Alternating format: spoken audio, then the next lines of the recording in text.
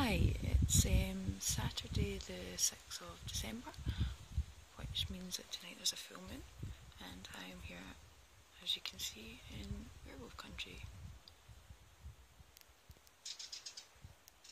Not very much to see at all, nothing as far as I can see.